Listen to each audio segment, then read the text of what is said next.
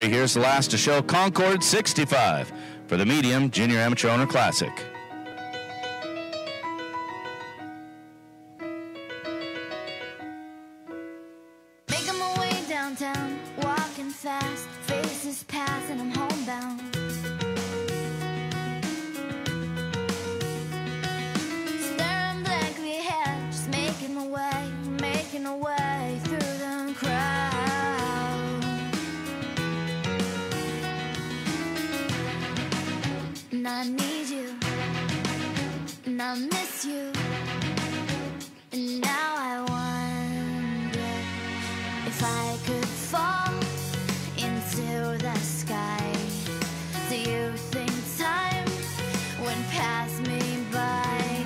Cause you know I'd walk a thousand miles if I could She went for it. She got it. Hannah Heidegger, the only one taking the inside turn off the combination. It paid off on the clock.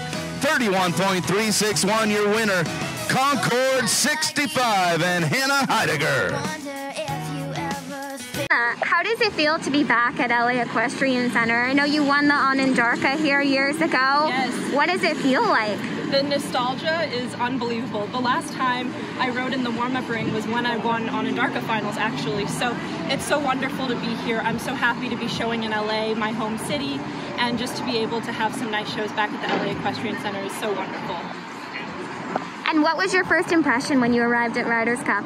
Oh, I thought it was amazing. I think the whole team has done such a beautiful job. I love the cabanas, the VIP, the footing is wonderful.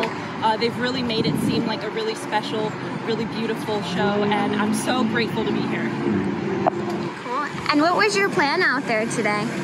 Well, I had the fortunate position of being the last to go in the jump off, and I saw that no one had done the inside turn yet. So I knew if I could get that inside turn and if I could be clean, then that would probably help me get the win. So I really wanted to win today, so I figured I'm going to leave it all out there, do that inside turn. Luckily, my horse really followed me super well, um, and we were able to pull it off. And um, yeah, I was fortunate to be the last one to go and the one to do the inside turn.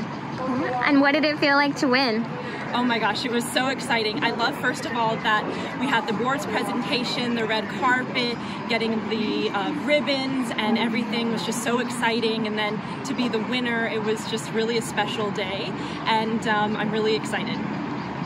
Right? And what do you love about coming to West Palms events? They always make the show feel so special.